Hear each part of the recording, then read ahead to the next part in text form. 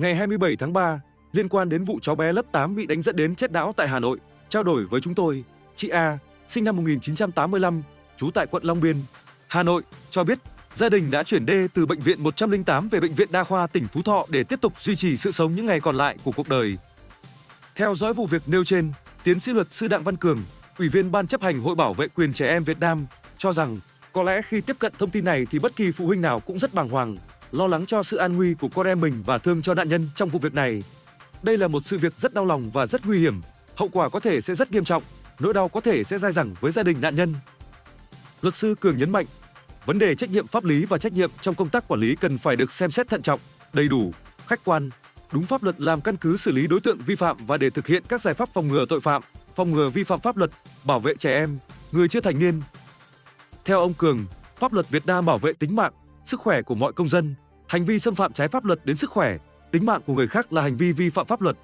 Trong vụ việc này, với thông tin ban đầu cho thấy nạn nhân đã bị đánh hội đồng đến mức bất tỉnh, chết não thì mới được buông tha. Rất có thể các đối tượng đánh đập nạn nhân tưởng nạn nhân đã chết nên mới dừng tay.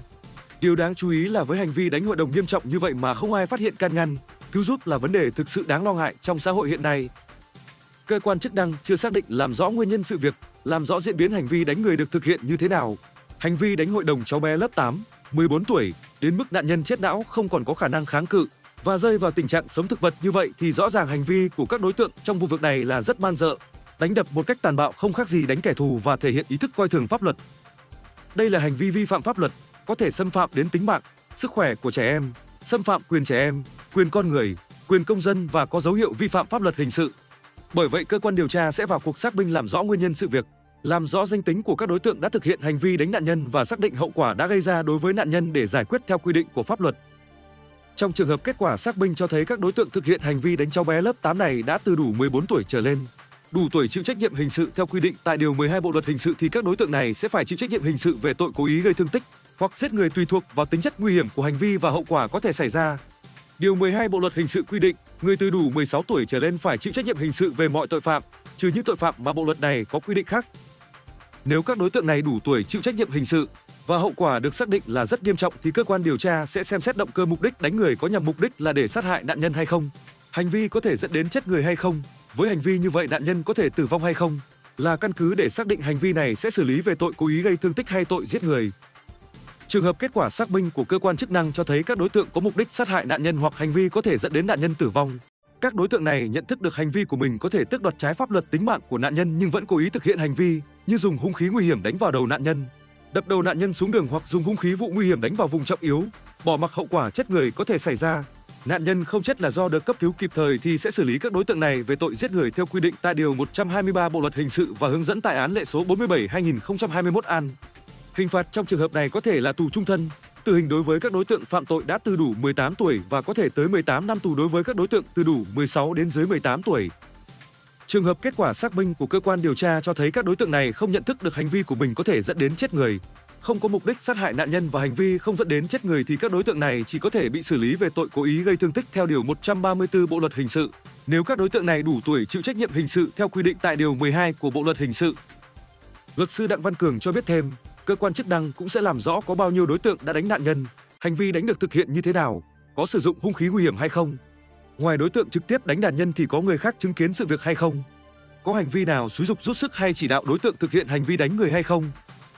Trong vụ việc này, độ tuổi của các đối tượng đã thực hiện hành vi xâm phạm đến tính mạng, sức khỏe của nạn nhân, nguyên nhân sự việc, diễn biến hành vi của các đối tượng và hậu quả có thể xảy ra đối với nạn nhân là những vấn đề quan trọng để xác định có đủ căn cứ để xử lý hình sự hay không. Nếu xử lý thì sẽ xử lý về tội danh gì? Nếu tại thời điểm thực hiện hành vi nguy hiểm cho xã hội mà người thực hiện hành vi đã đủ tuổi chịu trách nhiệm hình sự, hành vi có mục đích giết người hoặc có thể dẫn đến chết người, đối tượng thực hiện hành vi nhận thức được hậu quả nhưng vẫn cố ý thực hiện hành vi thì sẽ xử lý về tội giết người. Còn nếu không đủ căn cứ chứng minh về tội giết người và đủ tuổi chịu trách nhiệm hình sự thì sẽ xử lý về tội cố ý gây thương tích.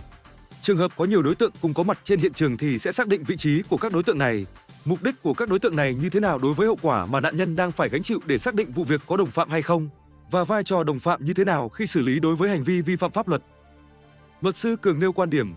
đây là sự việc rất nghiêm trọng, rất tàn nhẫn và gây ra hoang mang trong dư luận xã hội, gây ra hệ lụy lâu dài đối với nạn nhân và gia đình nạn nhân. Bởi vậy, Hội Bảo vệ quyền trẻ em Việt Nam sẵn sàng tham gia để hỗ trợ pháp lý cho gia đình nạn nhân. Cơ quan chức năng cần khẩn trương vào cuộc để xác minh làm rõ, xử lý các đối tượng theo quy định của pháp luật. Sự việc cũng cho thấy nguy cơ trẻ em bị bạo hành, bị đánh đập gây tổn thương, thậm chí có thể bị sa thải có thể xảy ra bất kỳ khi nào nếu thiếu trách nhiệm trong công tác quản lý của những người lớn. Trẻ em thiếu kỹ năng sống hoặc vấn đề giáo dục đạo đức lối sống của trẻ em không đạt hiệu quả. Để giảm thiểu những vụ việc như thế này thì vấn đề tuyên truyền phổ biến giáo dục pháp luật cần phải được thực hiện có hiệu quả hơn nữa. Đặc biệt là vấn đề giáo dục đạo đức lối sống, giáo dục kỹ năng sống và ý thức chấp hành pháp luật của các bạn trẻ trong môi trường học đường cần phải được quan tâm chú trọng hơn nữa. Cùng quan điểm, luật sư Nguyễn Anh Thơm, đoàn luật sư Hà Nội cho biết, theo tìm hiểu đối tượng trực tiếp gây án đối với nạn nhân hiện đang học lớp 10, sinh năm 2008, ở lứa tuổi từ 14 đến dưới 16 tuổi. Như vậy, với hành vi đánh cháu bé 2010 chấn thương sọ não nặng, có thể bị tử vong, đối tượng sẽ phải chịu trách nhiệm hình sự theo quy định nếu bị buộc tội giết người hoặc cố ý gây thương tích theo điều 123, 134 Bộ luật hình sự.